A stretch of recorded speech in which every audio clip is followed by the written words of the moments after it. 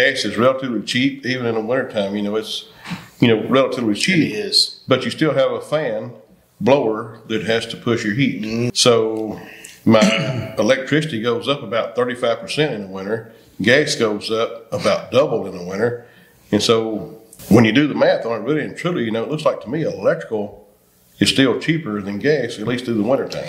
It can be in the winter, and they make a dual fuel system, the heat pump with gas backup. So it hmm. you can set it if you're somebody like myself, a little thicker. Don't you set the swap down to change over at 25 degrees. So it'll run that heat pump and 25 degrees. It hits its temperature and swaps over to gas. So I always recommend that with propane Okay. applications to save, as propane is Yeah.